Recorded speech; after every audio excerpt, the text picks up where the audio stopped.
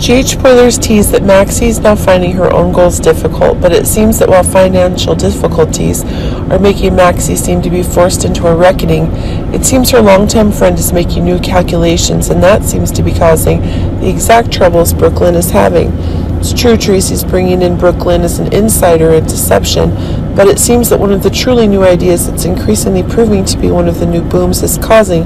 the very difficulties for deception and the judgments that Lucy has against Maxie are causing Maxie to fall into an unpaid status. But remember that one of the new developments is that when Maxie is publicly moving into a bigger house, the financial pressures are making Maxie no longer able to withstand the pressure. But it seems that one of the new conditions is causing a frenzy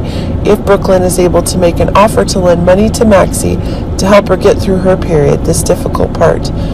but it seems that one of the ideas is increasingly being proven through big action. It's precisely Maxie's unwillingness to get Brook Lynn's help that's causing one of the new tensions, getting higher and higher. But it seems that one of the new crazy ideas is increasingly proving to be one of the new dangers, as the very actions of deception's interference are causing the very missions that Maxie is having. New dangers but it seems that one of the events Maxie is sensing is one of the new influences as the evidence in the very conditions of the trust's operation is that one of the new shocks is increasingly growing, obtain the evidence of fraud that Brook Lynn is obtaining.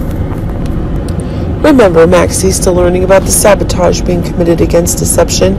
but it seems that with Tracy's return, the conditions on Brook Lynn's actions are growing even stronger. Should be remembered that if the stressful actions by Maxie and Lucy are becoming stronger, this is causing the new destructive conditions that Brook Lynn is having to be increasingly expanded. But remember that one of the events that Brook Lynn is having a wedding is that it's proving that one of the new destruction is being in the very new mission that are increasingly being confirmed, if as exactly as Maxie's admitting that the crazy actions Brook Lynn is having in sabotaging deception, this is proving that it's exactly Maxie who's sabotaging Brook Lynn and Chase's wedding. Even though Maxie's accepted Brook Lynn's own offers of help, it's causing one of the new tensions to widen. But it seems that one of the new crazy things is causing one of the new denunciatory ideas that Maxie is getting, and it seems Maxie and Brook Lynn's friendship will be ended, and that's making for one of the most tragic things. New disaster is coming.